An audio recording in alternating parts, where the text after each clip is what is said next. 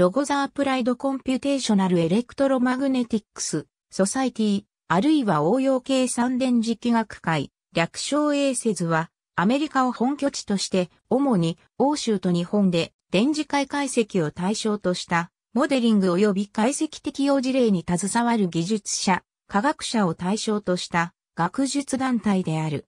1985年に創設された。毎年春に定期国際会議が開催されている。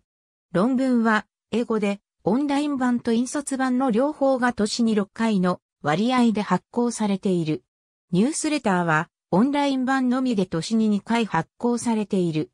A せずの会員資格には次の3種類がある。主に配布物の差によるものである。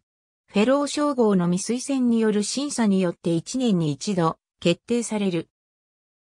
年会費はそれぞれ下記の通りである。2010年の選挙で初めて日本人がボードオブディレクターに選ばれた。任期は3年間であり、2010年から2012年を担当する。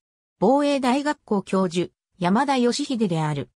なお、今回の選出にあたり、日本国を中心とした周辺各国での活動も活発化させるために、毎年1回行われる国際学会の開催地を米国及び欧州以外で初めての地域として日本国で開催することが予定されている。